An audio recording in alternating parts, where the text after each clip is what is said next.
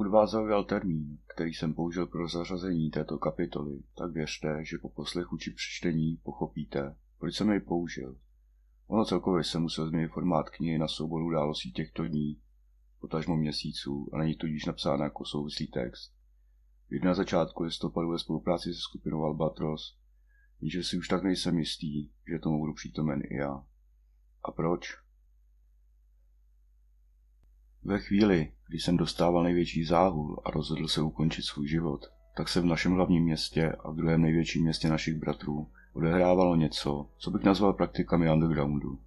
Nalezení mého bývalého kamaráda, Henryho, jeho přiznání, že vzal peníze za to, že mě zradí a já tak už neponesu cech jediného zlého v této tragédii. Posléze jeho útek na mě, když jsem se jen o pár milimetrů vyhnul noži v jeho ruce a jeho zmizení v temnotě hlavního města byly události. Pro jejíž popis používám termín pasta. Nevím, jak se Lightovi povedlo mu takto vymít mozek, protože my chlapy, navíc s určitým stupněm inteligence a vzdělání, dost těžko skáčeme na jeho sladký keci. Jo, umí vymývat mozek spoustě nedospělých nebo jednodušších fajnek, ale to, jak vymil mozek Henrymu, přesáhlo všechno očekávání. Ano, je mizerný umělec, kterého užírá, že nikoho nezajímá a proto se stal postavičkou vystupující v přitroublém seriálu na komerční televizi, jak praví i můj velmi vzdělaný známý, jehož jsem klientem. Ale zároveň je a byl i mizerný milenec, přítel i kamarád. Tak jak bylo sakra možný, že dokázal někoho uplatit a navíc ho ještě navést k tomu, aby se mě pokusil zavraždit, Plánování toho, jak se mě zbavit, už tak mizerný nebyl. No, to teď nechme a pojďme na tyto události pěkně po pořadě. Jak víte, ceny bydlení v našem hlavním městě jsou pro člověka, který se živí poctivě a normální prací, mnohdy vysoké. Vím, o čem mluvím. Často se tak stává, že i starší odrostejší musí hledat spolubydlení. A takového spolubydlícího měl i Henry. Říkejme mu třeba Lukas. Když Henry zmizel, mimochodem potom, co se mnou zachytili kamery policejního komisarství z té městské části, byl to pro mě šok. Během 20 minut, když jsem se vykecával na policii, no vykecával, čekal jsem, až mi vrátí mobilní telefon, jsem přišel o jednoho z přátel, kterému jsem do té doby bezmezně věřil. To je tak, když se domluváte po e-mailech a nevšimnete si, že i tam řádí škodná. Henry zmizel, jak jsem psal dříve s mou Tourbox s důkazy proti Lightovi a bohužel proti mně. Neptejte se, proč jsem měl všechny tři důležité věci na jednom místě. Byl jsem v tomto vůbec. Tou dobou jsem vůbec netušil, jak moc ležím Lightovi v žaludku a jak daleko je schopen zajít. Tuto chybu už ale neopakuji a vše, co mám, co zjistím, co se ženu, co napíšu, rozděluji a schovávám po bezpečnostních schránkách v různých institucích a hlavně v různých městech. Jsou bezpečí, ale zase to má tu nevýhodu, že musím psát plné moci pro případ, že bych byl odstraněn. A vybrat ty správné lidi, kterým bych mohl důvěřovat, že moji tvorbu, poznatky, můj Lightův příběh můj dopis na rozloučenou či pokyny k dalším krokům nezničí a budu je dále šířit. Nebylo snadné. Naštěstí existují desítky kopií a každý ví jen o jedné. Vím, je to přehnané, ale když vám na něčem záleží, dáte si sakra pozor, aby to nezaniklo. Zpět k Lukasovi. Když Henry zmizel, tak jsem několik dní prohledával město, v naději, že ho snad najdu na některém z jeho oblíbených míst. Dokonce jsem ohlídal i Lightův dům, jestli se tam neobjeví. Lighta jsem viděl často, ale Henry se vypařil. S Lukasem jsem se nikdy předtím nepotkal. Znal jsem ho jen z vyprávění, ale věděl jsem, kde bydlí. Trvalo hodně dlouho, než jsem se odhodlal Lukase vyhledat a požádal o pomoc s nalezením Henryho. Jaké bylo moje překvapení, když mě Lukas přijal a po vyslechnutí mého příběhu mi potvrdil, že Henry se už nějakou dobu choval divně, často jezdil na jejich města a nakonec jsem nebyl jediný, komu něco sebral. Lukas také o pár věcí přišel. Já bych raději umřel, než bych se přiznal, že jsem se nechal uplatit a jsem v cizí zemi za peníze, které jsem si vzal za to, abych podrazil kámoše. Ne tak Henry. Jeho důstojnost nebyla taková, jako má. S Lukasem jsme se zpřátelili, možná i proto, že jako vzdělaný člověk nemá takový mizerný umělce, jakým byl Light rád. Možná i podle jednoho pravidla války, že nepřítel mého nepřítele je můj přítel. Oba dva jsme totiž kvůli Lightovi přišli o kámoše a to nás spojilo, ne k boji, ale k obraně. Trvalo to šest týdnů, než mi Lukas volal, aby mi sdělil významnou novinu. Ozval se Henry.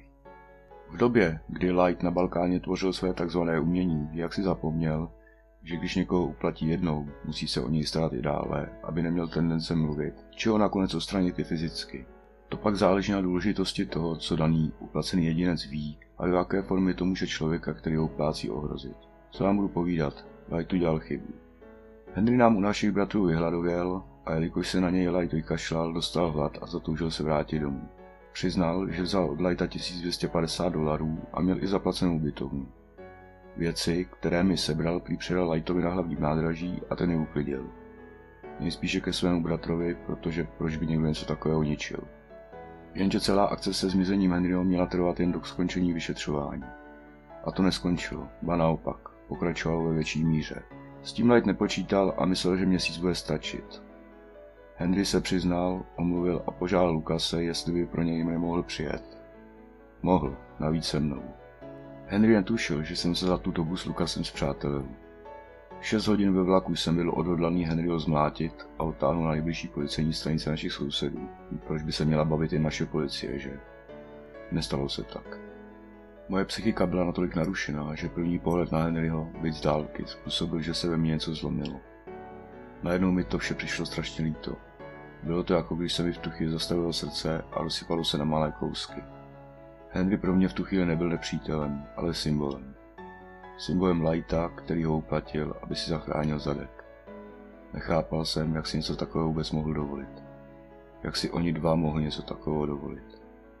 Pocitu nože, vraženého a otáčejícího se mezi nimi žebry, jsem se nemohl zbavit. Bylo mi strašně. A to jsem ještě nevěděl, že za pár dní budem kuček od toho mít ho tam vražený doopravdy. I když jsme byli jen pár desítek metrů od sebe, tak jsem Lukasovi zavolal, aby Henry odtáhl domů, že já pojedu až dalším vlakem. Prostě jsem to nezvládal a nevydržel bych s Henrym v jednom vlaku. Navíc 6 hodin. Lukas mě ujistil, že Henry slíbil, že se přizná a ví, že jsem ve městě taky a chce se mi omluvit. Já o tohle v tu chvíli nestál. Co mohla změnit omluva na tom, že mě zradil a přišel na druhou stranu. Nemohl jsem mu věřit, že cokoliv, co řekne, myslí vážně. Přes hlavní město našich sousedů jsem dorazil pod ní a půl domů, pokud se tedy tomu, kde žije, já říká domov. Otočil jsem si svůj den v práci, opevnil se a vyrazil za Lukasem a Henrym. Henry se skutečně omluvil a vypadalo to i na to, že ho to mrzí. Ale já sám jsem dost zdatný herec a nemůžu věřit všemu, co vidím. Jediné, co mě mohlo přesvědčit, byla Henryho cesta na policejní komisařství. Mělo se tak stát ještě ten týž týden. Mohlo to skončit.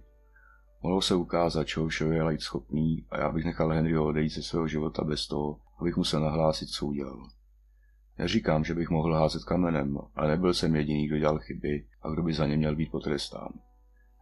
Běžel šestý den od naší výpravy pro Henryho a nic se nedělo, tedy alespoň z Henryho strany. Oproti tomu Light pracoval velice zarputil na sociální síti, a to jak mým jménem, tak pomocí fejkových profilů.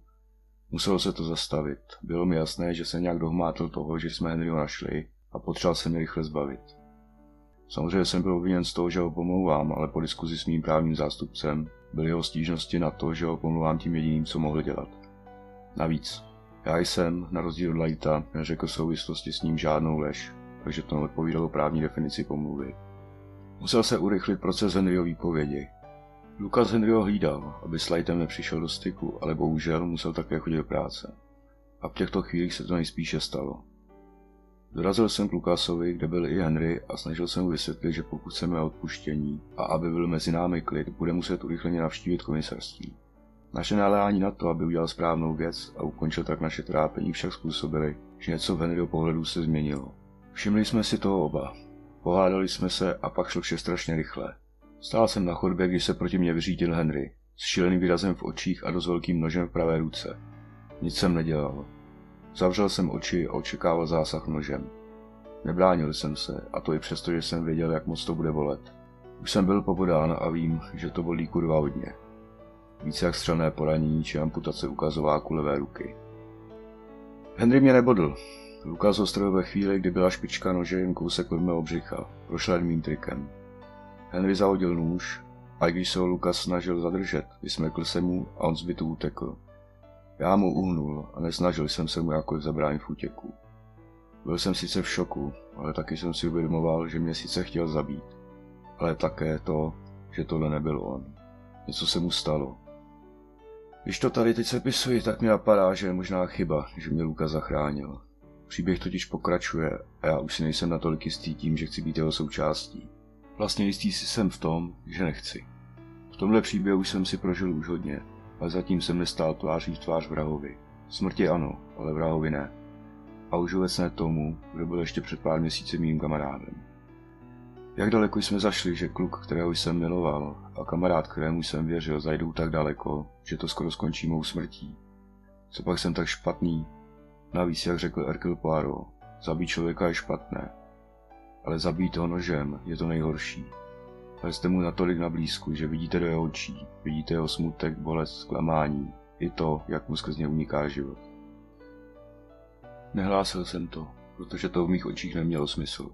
Jsem rád, že Light hraje v televizním seriálu, i když přitroublím, protože to stačilo svěřit konkurenční televizi a to dává dohromady reportáž. Možná už jste ji viděli. Tedy pokud Light, Henry nebo někdo jiný nepřišli se střelnou zbraní, to bych se jen těžko vyhnul. Nože mě zabít zřejmě nejde. Až do takové fáze jsme se dostali. Ach jo. Pokud jsem začal žít tak, jako by byl každý den poslední, tak po této příhodě jsem začal žít tak, jako kdyby byla poslední každá minuta. A neustále čekal na tu kulku, která by mě vysvobodila. Vše jsem podchytil a zařídil, takže náš příběh a jeho šíření již nevyžadovali mou přítomnost. Jenže ne vše je tak snadné, jak to na první pohled vypadá.